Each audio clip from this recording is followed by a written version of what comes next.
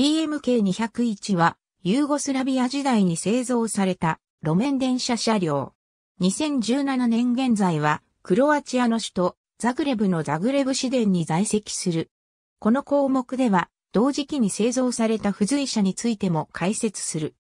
1951年に試作車が製造された後、1957年から1965年まで量産車が作られた TMK101 の改良型として、1971年から開発が始まった車両。TMK101 と同様に型運転台式のボギー車として設計されたが、全長が14メートルに伸び定員数が増加したほか、主電動機も TMK101 の1台車につき1機搭載から2機搭載に変更された。電気機器を除いた部品の大半はクロアチア地域で生産されたものを使用した。製造は1973年から行われ、TMK101 の量産車の製造も実施したジュロ・チャコビッチ工場が手掛けた。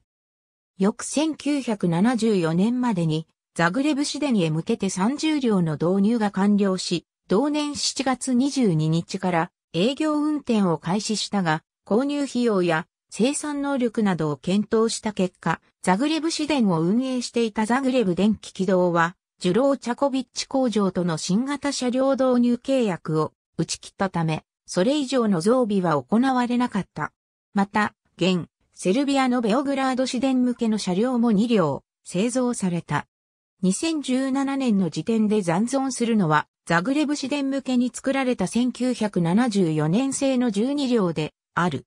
また、1990年代以降に登場した3、車体連接車の TMK2100 には、廃車された TMK201 から供出した台車や電気機器が用いられている。TMK201 と共に導入された付随車。1973年から1974年にかけて製造が行われ、2017年の時点でザグレブ市電に12両が残存する。TMK201 と連結した2両編成での想定員は156人である。ありがとうございます。